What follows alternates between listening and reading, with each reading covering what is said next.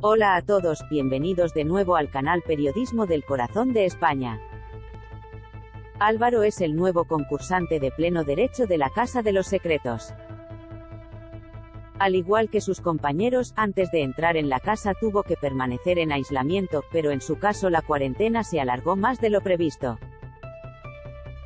Su entrada ha hecho estallar los cimientos de la casa más secreta de España, ya que nada más reunirse con sus compañeros, protagonizó un fuerte enfrentamiento con la mayoría de ellos.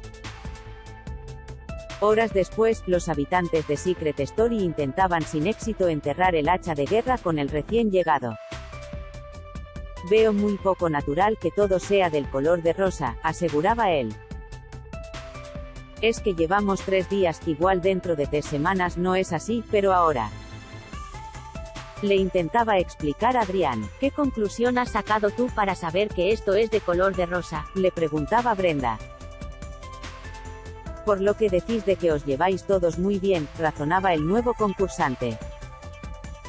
Tú vienes muy leído de fuera, hay muchas frases que no me están cuadrando, aseguraba Brenda.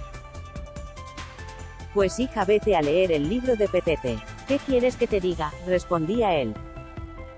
¿Por qué dices ahora eso? Quería saber Adrián. ¿Por qué me estás alzando la voz? preguntaba Álvaro. Porque no puedes contestar así de vacilón, se sumaba a la conversación Rafa. Yo contestaré como me salga de los COJ asterisco asterisco asterisco asterisco, zanjaba él.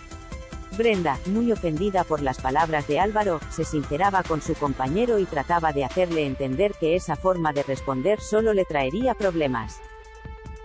Lo del libro de Petete me lo has dicho a mí y yo no te he faltado al respeto y te he hecho varias preguntas seguidas.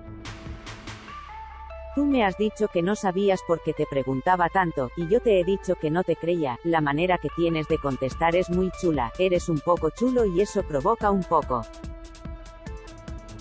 Álvaro también ha protagonizado un fuerte enfrentamiento con Carmen. No te pierdas nada de lo que ocurre en la Casa de los Secretos en mi Teleplus.